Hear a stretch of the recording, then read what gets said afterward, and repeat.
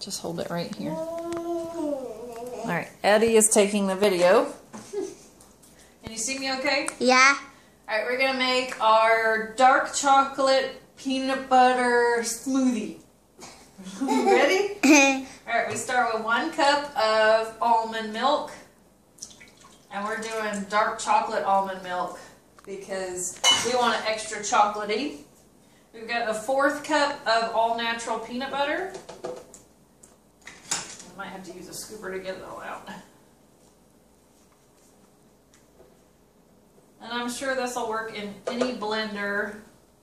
I've got the the Ninja blender because we like to make lots of shakes here. we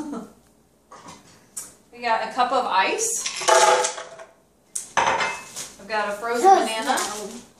You can use a fresh banana, but I usually freeze mine when they become too ripe, so I just use all my frozen bananas. And this is Young Living's Pure Protein Complete. You use two scoops of it. It's got 25 grams of protein per serving.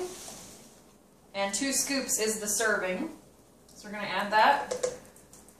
So that we've got our chocolate shake, but we've got lots of protein in it for the kiddos. And it's nice and healthy.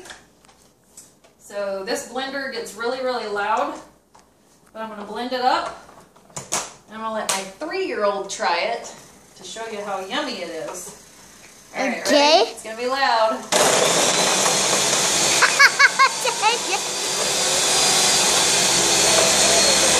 Say hi, JJ.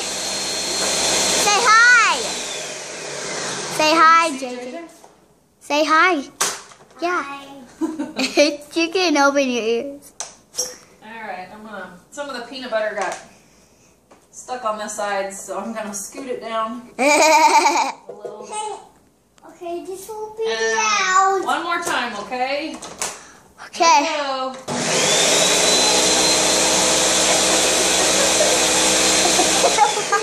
We got the baby crying. Oh, it's okay. Alright, we're gonna pour some. oh my. Oh, it's nice and thick, almost like ice cream. Oh, JJ. Alright, JJ. You wanna try it? Yeah. Can you see JJ okay? Uh, yeah, there. Is it How is good? it? Good. Is it good? Really good?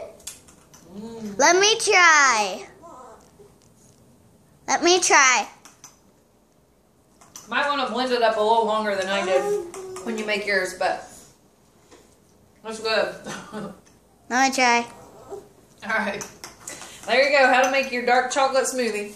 And hit stop? There you have it.